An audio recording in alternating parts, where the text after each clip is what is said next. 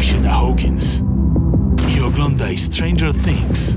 Teraz w Ektrze telewizja smart i internet światłowodowy, a Netflix nawet na rok w prezencie. Sprawdź teraz.